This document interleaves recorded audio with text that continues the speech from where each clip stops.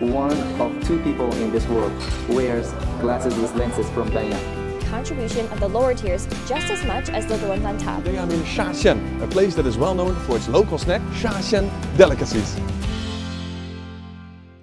Hi, hello and welcome to Guangdong's Yantian, a village that is located in the southern tip of Dongguan City and is nestled in Shenzhen by bordering to the east, south and west this huge metropolitan city.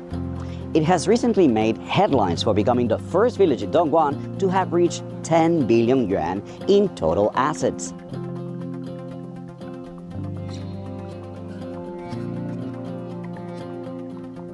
By the end of 2023, the local villagers received dividends that reached a minimum of 47,000 yuan per person. This is the result of sound leadership, decisions, investment, and land rentals. Yantian is known for being one of the earliest adopters of reform and opening up since 1979, welcoming many entrepreneurs to this area. Over time, Yantian endeavored towards industrial transformation and upgrading of the village. Two factors made this possible. The market trend awareness of the local decision makers, which allowed them to steer the industrial, commercial, and investment ability of the village itself towards more profitable results. Also, the transparency in development projects, management, and investments as well. These boards right here explain in detail the use and allocation of the local funds, making city leaders accountable for their successes as well as their shortcomings. They actually show how the city manages its funds from the money that comes in, the money that goes out, the different projects, the different plans, the investments, and all the results that they bring to the people of Yantian village. This is something quite unique that I've never seen before, and I think that we should have in more places around China. Uh, 你叫什么名字？我叫邓天福。OK，是雁田的一个本土生土长的村民。这个是什么？这是我们村的一个宣传栏信息的公布栏。嗯哼。And 为什么有这个？我我没有很多地方我看到这个。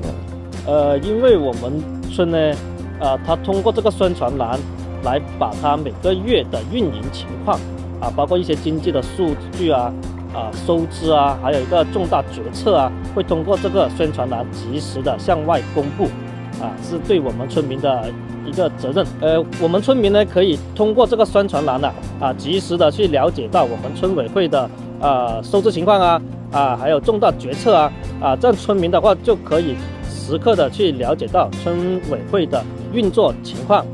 The integration of government services from both Shenzhen and Dongguan makes life a lot easier for people in the village and for commuters and migrants as well.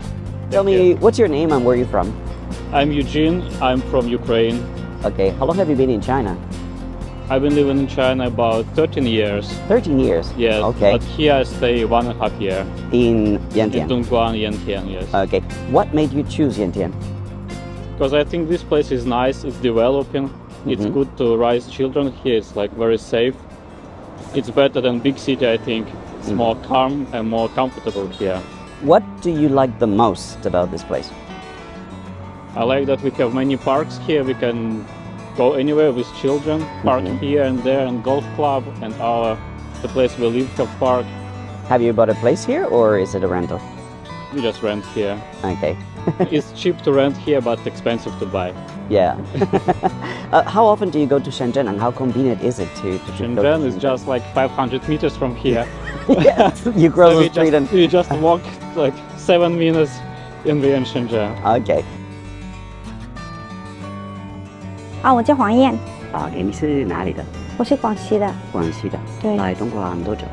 来东莞应该差不多有十年了吧，挺喜欢在这边的，因为它交通方便也挺方便的，放假的时候就出去逛逛街啊，然后也挺方便的。作为东莞的首个百亿村，首先我感觉到非常的自豪。通过这个百亿村呢，我们村的村容村貌嗯啊，包括公园的绿化啊、道路的设计啊、升级啊啊，村容村貌居住环境上得到了一个很大的提升。我们在这边生活感觉到很便利，也感觉到非常的幸福。And what better way to finish this quick overview of rural revitalization and industrial transformation in Yantian, the first 10 billion village in Dongguan, than to visit its library right here in Yanghu Park. Well, we admire the size of its development throughout its 8 square kilometers of area. This park and its leading goose are emblematic of the rewards that can await any community when inclusiveness, transparency, and a vision for the future come together under the guidance of the central government. I hope to be able to report on many more 10 billion villages in China in the future.